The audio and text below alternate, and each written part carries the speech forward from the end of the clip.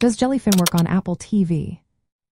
If you are curious about whether Jellyfin can be used on Apple TV, you are in the right spot. Let's break down how this works. Jellyfin is a popular media server software that allows you to organize and stream your media collection. Many users run Jellyfin on network-attached storage or personal computers, making it easy to access their favorite movies, shows, and more. Now, when it comes to Apple TV, there is no official Jellyfin app developed by the Jellyfin team. However, there is a third-party application called SwiftFin that serves as a Jellyfin video player specifically for Apple devices, including Apple TV. This app is compatible with tvOS 15.0 or later, which means you can stream video content from your Jellyfin media server directly to your Apple TV. SwiftFin is built using modern technologies, making it a reliable choice for streaming. While it is still being developed, it already supports streaming of Jellyfin live TV sources and recorded shows. However, keep in mind that SwiftFin is limited to video content only.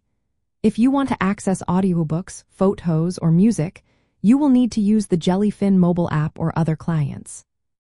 The official Jellyfin mobile app is designed for iOS devices, such as iPhones and iPads, and while it includes many features, it is not optimized for Apple TV.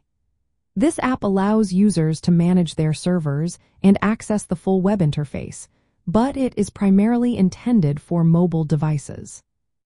When you set up Jellyfin on your network attached storage or personal computer, it acts as a media server. Your Apple TV, using SwiftFin, connects to this server over your network to stream content. This setup allows you to enjoy your media library on a larger screen without needing to transcode content, depending on the media format and your network conditions. In summary, Jellyfin does work on Apple TV through the SwiftFin app. This app allows you to stream video from your Jellyfin server, but it does not support other media types. The Jellyfin mobile app is not designed for Apple TV but works well on iOS devices. By using SwiftFin, you can easily access your Jellyfin content on Apple TV, making it a practical option for those with Jellyfin servers on their personal computers or network-attached storage devices. Just keep in mind that SwiftFin is still being improved, so you may encounter some limitations along the way.